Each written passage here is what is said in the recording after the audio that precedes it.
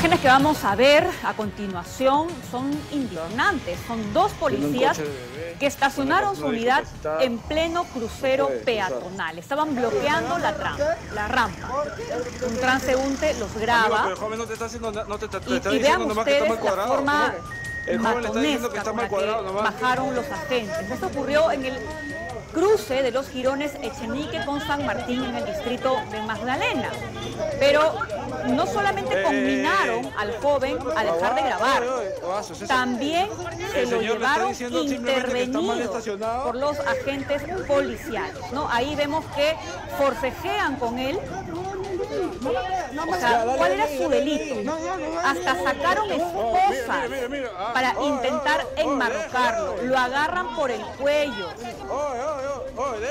Claro, ellos habrían procedido de esta manera porque se habían visto descubiertos, ¿no? Cometiendo una falta, una infracción de tránsito. Nuestra compañera Tiffany Tipiani se encuentra en la zona para que nos dé más detalles de qué es lo que ha pasado con este muchacho al que vemos que se lo llevan así, por la fuerza. Su único delito era grabar a los policías que habían cometido una infracción. Tiffany. Así es, Pamela, ¿qué tal? Muy buenas tardes y a los amigos televidentes también. Estamos ubicados en la intersección de los girones Echenique y San Martín. Exactamente en este lugar, en estas líneas peatonales se encontraba el patrullero de la Policía Nacional que pertenece a la comisaría de Magdalena del Mar. Ellos estaban obstruyendo tanto el paso peatonal de los ciudadanos como también esta rampa que ayuda a todas las personas con discapacidad puedan ellos transitar de manera tranquila por la zona. Este ciudadano, llamado eh, el joven Marco Antonio Moretti Aybar, de 31, pues estuvo grabando esta situación pese a que los policías se encontraban aquí en esta zona, en esta esquina, conversando, según lo que indica el parte policial. Y al increpar a estos efectivos policiales, lo único que hacen los policías es detenerlo. Sin razón alguna, simplemente agarran, lo enmarrocan acá, incluso lo, lo acercan para ya ponerle las esposas. ¿Quién estaba aquí? Estaba como testigo su hermano y también algunos vecinos, como el señor que está aquí. ¿Usted ha sido testigo de este hecho? Efectivamente, señoría, estaba presente cuando los agentes de la policía lo, este, y lo, y lo, golpearon prácticamente y lo han metido a la fuerza al patrullero para llevárselo. ¿Para usted ha sido una injusticia? Aparentemente sí, porque este muchacho, este, acá muchos vieron de que realmente de que solamente le habían dicho a la policía que no tiene estacionada acá, pues está prohibida, y ahí lo golpearon y lo metieron al patrullero, eso es lo que vimos nosotros. Vimos aquí en la comisaría varias personas.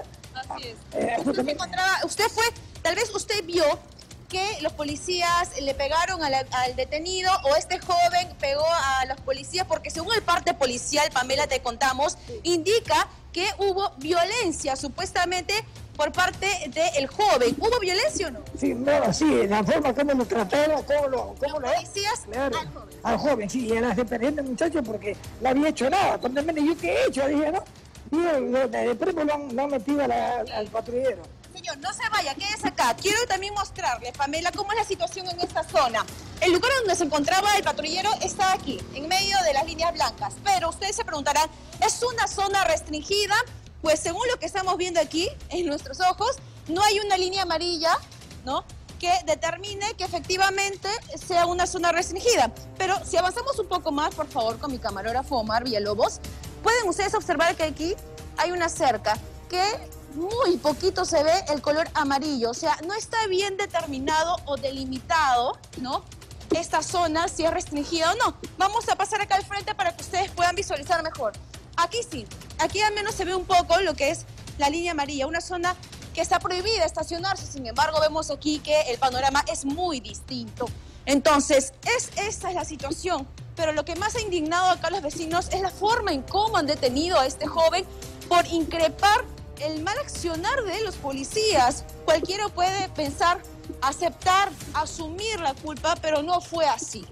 Exactamente, no ha sido así, ha sido prácticamente una agresión que había, una agresión cuando el muchacho indefenso a la fuerza, la, lo, han, han detenido. Tenemos aquí el parte policial, Pamela, para también comentarles quién es este policía, quien también hizo la denuncia en la comisaría en contra del joven. Es el suboficial de tercera Henry Ken George Tobar Romero, de 32 años de edad. Él pertenece a la comisaría de Magdalena, a este patrullero que se encontraba aquí, obstruyendo estas líneas peatonales que como vemos aquí los ciudadanos lo utilizan. Eso es utilizado por todos los ciudadanos, incluso la rampa también. Pamela. ¿Y, cuál es la acusación que hace el, policía contra el chico? ¿por qué lo ha denunciado? Eh, lo han detenido, sí, lo ha denunciado por eh, desacato de la autoridad y violencia también, ambos.